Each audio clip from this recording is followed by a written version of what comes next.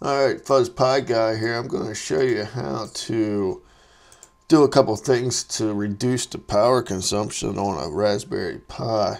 So first off, we need to make sure that this is installed. I'll throw the commands in the uh, description. So the second thing we need to do is we need to get into the RC local. So once we are in here, we're going to scroll down and right above the exit O, we're going to add the following line.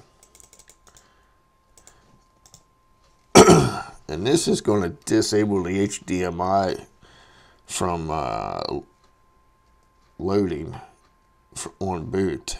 So once you're done in there, just save it. Control X, Y, enter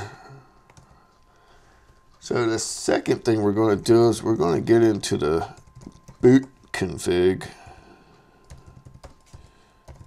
file here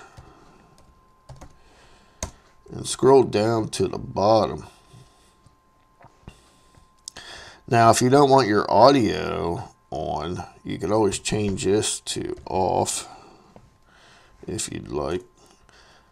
But we are going to add the following lines here. And this is to turn off the LED for the power and the activity, the red and green light. So once you are done there, we can just do another control X, Y, enter to save it.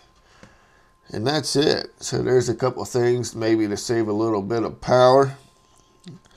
And uh, on the old Pi.